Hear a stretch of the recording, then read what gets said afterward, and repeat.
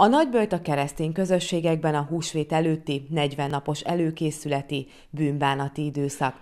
Ebben az évben a nagyböjt február 14-én kezdődött, és egészen március 29-éig tart.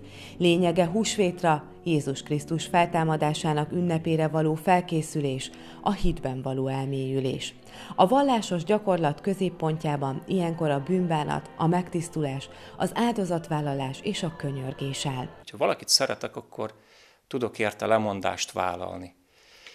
Tehát ez a legmélyebb értelme a Krisztusnak való odaadottság és a kapcsolataink gyógyulása, hogy kész vagyok áldozatot hozni azért, hogy a kapcsolataimban, ami rendezetlenség van, vagy ami nem minőségi kapcsolat, az azzá váljon.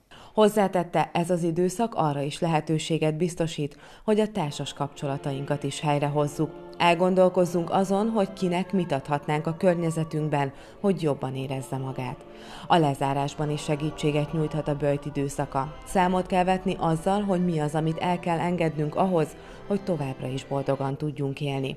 A nagybölt első napján és a rákövetkező vasárnap az egyházvezetők az előző év virág vasárnapján megszentelt barka hamujával jelölik meg a katolikus hívek homlokát.